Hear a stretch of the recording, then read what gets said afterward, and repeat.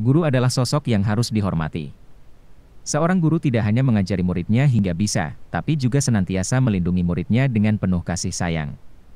Namun, apa jadinya jika seorang murid justru membunuh gurunya sendiri, alih-alih membalas budi gurunya? Untuk suatu alasan, deretan karakter ini tega membunuh gurunya sendiri. Inilah lima karakter anime yang membunuh gurunya sendiri. 5. Nagato Uzumaki, Anime, Naruto Alasan yang membuat kematian Jiraya menjadi kematian yang memilukan bukan hanya karena dirinya adalah karakter yang paling disukai oleh penggemar, tapi juga karena Jiraya harus mati di tangan muridnya sendiri, Nagato.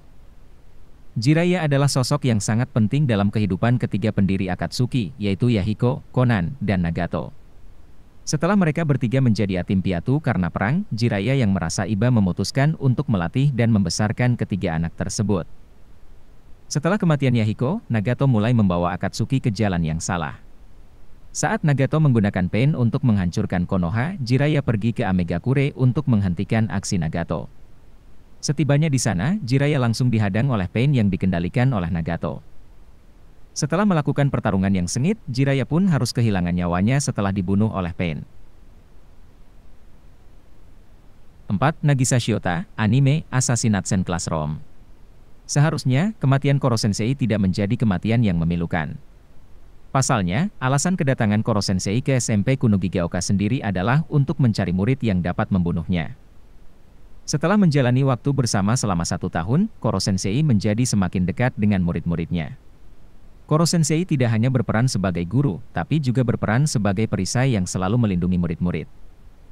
Sayangnya, takdir berkata lain. Koro Sensei tetap harus dibunuh. Jika tidak, bumi akan mengalami bencana besar.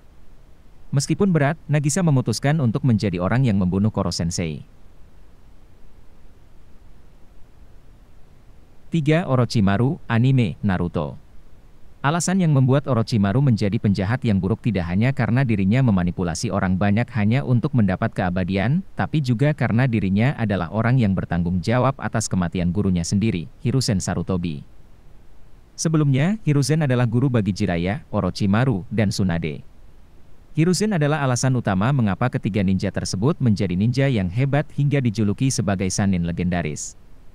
Sayangnya, dari ketiga murid Hiruzen, Orochimaru memutuskan untuk mengambil jalan yang gelap.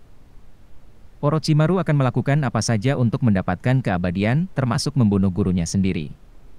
Saat Orochimaru menyerang desa dengan tujuan untuk mengambil tubuh Sasuke, Hiruzen harus mengorbankan nyawanya untuk menghentikan Orochimaru dan melindungi desa. 2. Sakata Gintoki, Anime, Gintama Terlepas dari kepribadiannya yang konyol, Gintoki memiliki masa lalu yang cukup kelam. Selain dibesarkan di era perang, Gintoki juga harus menanggung rasa bersalah karena telah membunuh gurunya sendiri, Yoshida Shoyo.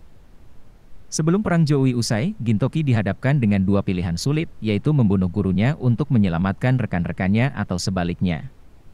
Tak memiliki pilihan lain, Gintoki akhirnya memutuskan untuk membunuh gurunya sendiri.